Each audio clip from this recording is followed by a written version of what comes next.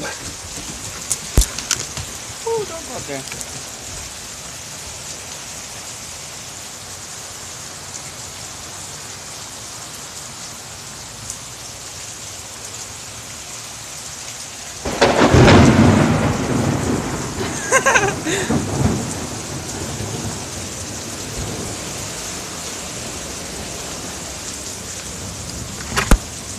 Come on, Cook.